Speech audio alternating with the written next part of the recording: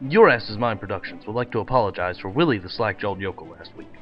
He is no longer employed, and we return with Frederick Rutherford Helmsley IV doing our introduction. So thank you very much for understanding. Hello everyone and welcome to another fine episode of Story Time with Your Ass is Mine. Sit back, relax, enjoy the music and the story that is about to be bestowed upon you. So without further ado, here it is. What's going on, everybody? It's Your Ass is Mine. Nice to hear Frederick Rutherford Helmsley the Third back. It's the fourth, you idiot. Fourth, fifth, whatever you are. Thanks for coming back. Little Dark Souls 2 in the background, the last sinner boss. Blah, blah, blah. That's not why we're here. So, I got set up on a blind date one time. And boy, was I extremely happy with my friends. Let's just say that. So, we used to have the game Yahoo Messenger Roulette, which I spoke of in a previous video. I will link that in the description. Well, the rule of it was you couldn't see who you were going to meet. You know, it was a blind date. So there was nothing you could do about it. It was, that was the rule, had to be blind date. So we would try to bend the rules as much as possible. You know, find out where they worked, or you know, and sneak by and meet them, or whatever. You know, if we had time.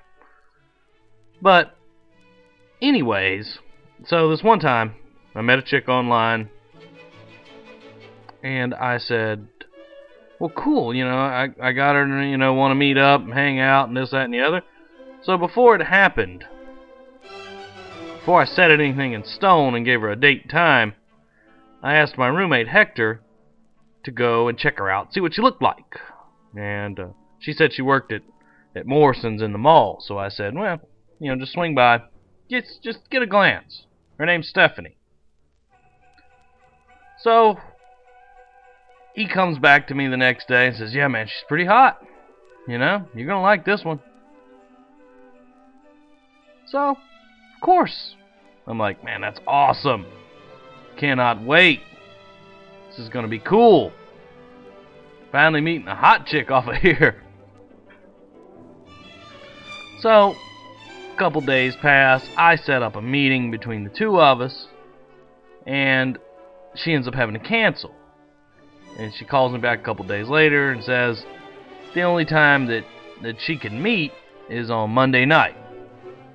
Well, here's the problem with Monday night. Monday night was Monday Night Football, and we always went to the Imperial Palace Casino to watch the game. Edit. And at the time, my car was broke down. I was putting a new motor in my Mustang. So, I didn't really have a ride, so I always rode with somebody else. And she wanted to meet on Monday. And Hector gave me the idea. He said, well, dude, why don't you just have her come over to the house and y'all have a few drinks or whatever. I said, that's a good idea, man. So, that's what I said. So, I had no way out of this. Alright, so, they all go to Monday Night Football. I'm at the house. She calls me. About 9 o'clock and says, Hey, which apartment do you live in? I'm pulling into the, the parking lot. And I told her which one it was. Said second floor. Building F.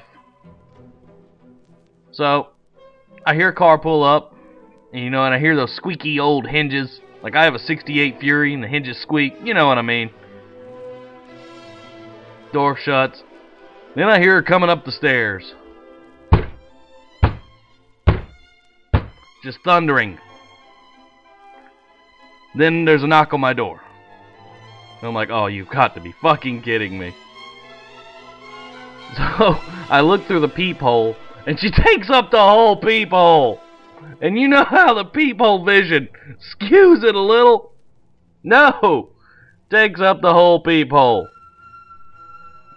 So, I didn't answer the door. My phone's ringing off the hook. I silenced it, hid in the fucking back bedroom. and was like, "Oh, please go away." Eventually, she goes away. Hector comes home, and I almost killed that motherfucker for that shit. All he could do was laugh at me. I appreciate you guys listening. Thanks a lot.